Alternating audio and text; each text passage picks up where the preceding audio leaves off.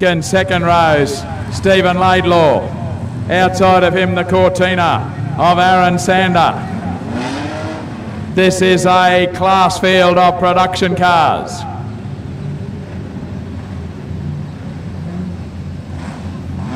Twenty-five laps the journey for the Australian Grand Prix. The King's Royal is coming next. There's a green one off and running. Daniel Henshaw gets the better of the jump from Neil Caldoulis. Back then to Josh Harm. Have a look at Stephen Laidlaw. The Victorian's got the bit between his teeth this time. Lead two cars. Settle down to fight it out. Daniel Henshaw up high on the racetrack. Neil Caldoulis. Next one is Josh Harm. Tucked in there is Stephen Laidlaw. Tim Atkins up high on the racetrack as well. In there too is Aaron Sander. There's plenty of action at the front of this one. They're all chasing Daniel Henshaw. Daniel Henshaw, the race leader. Neil Caldoulis, Josh Harm, Tim Atkin, Stephen Laidlaw, Aaron Sander is in there.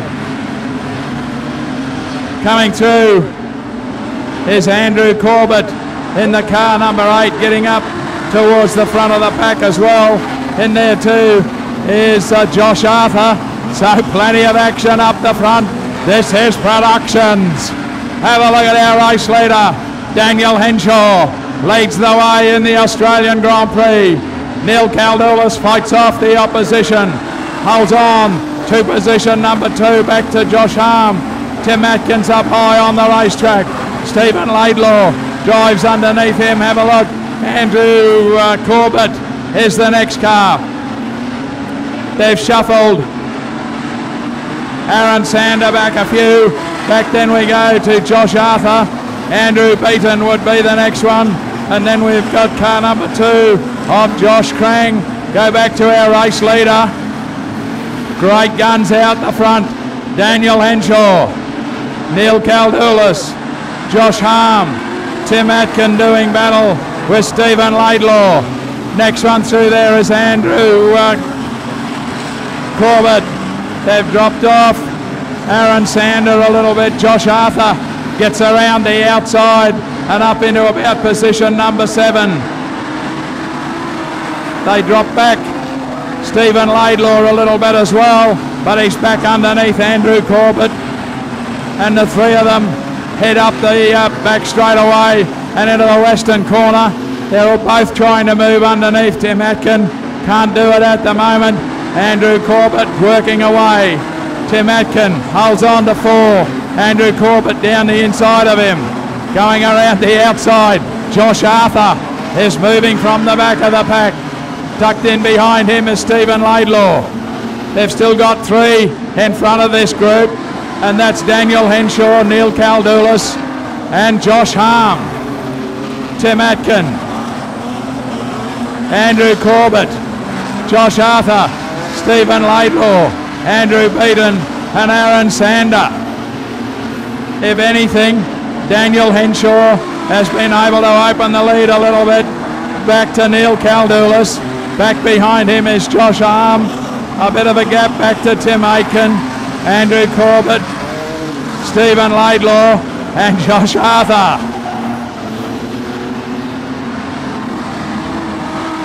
Put another lap down on the journey as lap number 10 completed. Our race leader heads up the back chute and into the western corners. He's starting to move up on lap traffic and one in trouble up against the fence is indeed one of our original leaders is car number 16, Aaron Sander, who gets across the racetrack and onto the infield and out of harm's way as our race leader continues on his merry way around the western corner, gets it a little bit out of plonk, going through there, but back on the line as he goes underneath the control tower. Daniel Henshaw to the better of Neil Caldoulis. Back then to Josh Harm. Stephen Laidlaw has got underneath Tim Atkin. Andrew uh, Corbett would be the next one. Josh Arthur sticking with the high line. Then we go back to Andrew Beaton. What a race for production cars.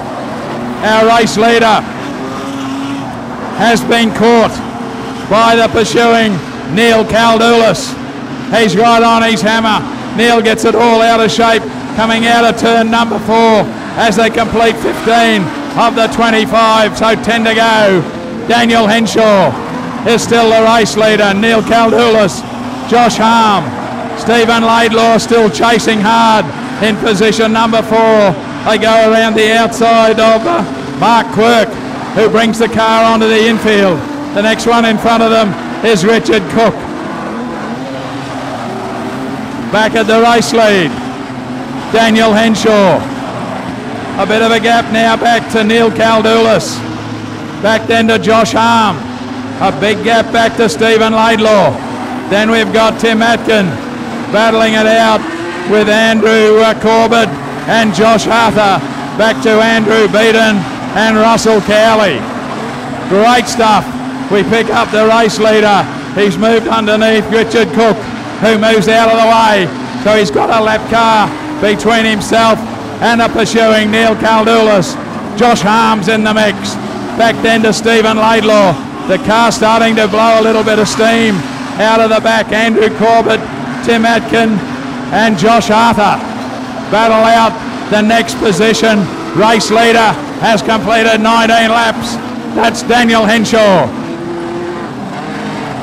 Richard Cook is doing him a great favour because he's not succumbing to the lap car that easily and eventually Neil Caldulis gets by but very close to Neil Caldulis now is car number 11 of Josh Harm. Long way back we find that uh, Andrew Corbett has got himself through into position four. Tim Atkin, Josh uh, Arthur and I'd say that Stephen Laidlaw the car is overheating. We'll go back to the front of the field. Josh Harm has a little look under Neil Caldulis. He can't do it while that is happening. 20 metres up the racetrack is Daniel Henshaw.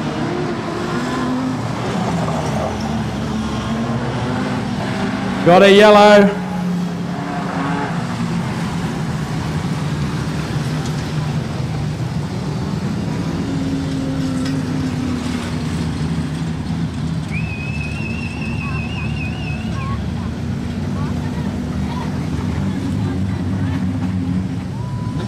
is when it says 22 and the checkered flag comes out.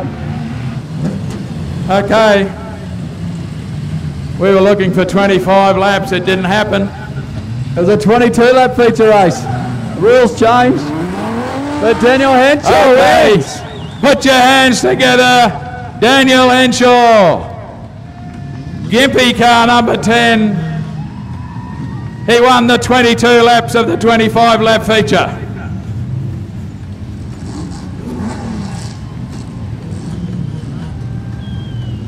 Neil Caldulis in for second. And I got no idea who was third.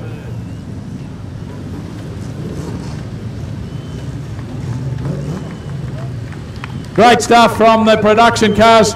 Put your hands together, folks, for them. Production Sedan Racing. Fantastic. I tell you what, racetrack here at Kingaroy Showground is in superb condition. Congratulations to our winner, Daniel Henshaw. We got to have a talk. We'll get him over here. He's got, got his cheer squad over there under the trees. Great stuff.